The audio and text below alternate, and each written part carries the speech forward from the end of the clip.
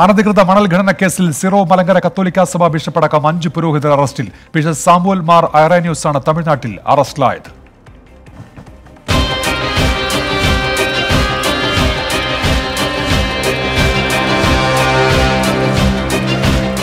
തിരുനെൽവേലിയിലെ അംബാസമുദ്രത്ത് സഭയ്ക്ക് സ്വന്തമായുള്ള ഭൂമിക്ക് സമീപത്തുകൂടി ഒഴുകുന്ന താമരഭരണി ആറ്റിൽ നിന്നും ഇരുപത്തിയേഴായിരത്തി എഴുന്നൂറ്റി എഴുപത്തിനാല് ക്യൂബിക് മീറ്റർ മണൽ അനധികൃതമായി ഖനനം ചെയ്ത് വിൽപ്പന നടത്തി എന്നതാണ് സഭയ്ക്കെതിരായുള്ള കുറ്റം.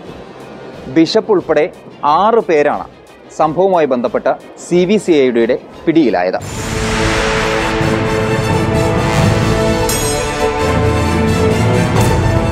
മൂന്ന് വർഷം മുമ്പാണ് സംഭവം നടക്കുന്നത്. നാട്ടുകാരുടെ പരാതിയെ തുടർന്ന് ലോക്കൽ പോലീസ് ആദ്യം കേസ് അന്വേഷിച്ചു. എന്നാൽ കാര്യമായ നടപടി ഉണ്ടായില്ല. ഈ സാഹചര്യത്തിൽ നാട്ടുകാരും പരിസ്ഥിതി പ്രവർത്തകരും ചേർന്ന മദ്രാസ് ഹൈക്കോടതിയുടെ മധുര ബെഞ്ചിനെ സമീപിച്ചു.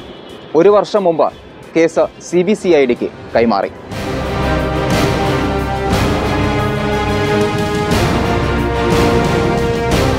സഭയുടെ സ്ഥലം പാട്ടത്തിനടുത്ത കോട്ടയം സ്വദേശി മാനുവൽ ജോർജാണ് ഈ അനധികൃത ഖനനത്തിന് പിന്നിലെന്നാണ് സഭ വിശദീകരിക്കുന്നത്. കൃഷിക്ക് വേണ്ടി പാട്ടത്തിനെടുത്ത സ്ഥലത്തു നിന്നും അനധികൃതമായി മണൽ ഖനനം ചെയ്ത് കടത്തി.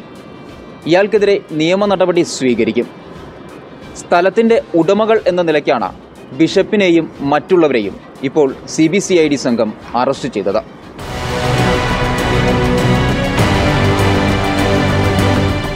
കേസന്വേഷിക്കുന്ന C B C I D സംഘം ഇന്നലെ ഓഫീസിലേക്ക് വിളിച്ചു വരുത്തിയാണ് ആറുപേരെയും അറസ്റ്റ് ചെയ്തത്. പിന്നീട് ജില്ലാ കോടതി ഇവരെ റിമാൻഡ് ചെയ്തു. നെഞ്ചുവേദന അനുഭവപ്പെട്ടതിനെ തുടർന്ന് ബിഷപ്പിനെയും മറ്റൊരു വൈദികനെയും തിരുനെൽവേലി മെഡിക്കൽ കോളേജ് ആശുപത്രിയിലേക്ക് മാറ്റി. ശ്രീകാന്ത് ഗൗരീശപ്പെട്ടതിനൊപ്പം ചെന്നൈയിൽ നിന്ന് മനേഷ് മൂർത്തി ട്വന്റി